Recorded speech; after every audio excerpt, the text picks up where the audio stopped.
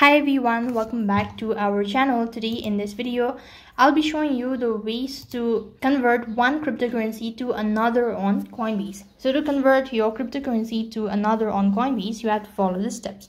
First thing, you need to go and log in into your Coinbase account. Make sure that your account is verified and at the top, going to click on buy select or you could just locate the option that says convert when you select that next page, there will be a plan with the options to convert one crypto to another. All you have to do is just enter the cash amount of the cryptocurrency you like to convert in your local currency. And then you could go ahead and click on preview convert and confirm the conversion transaction.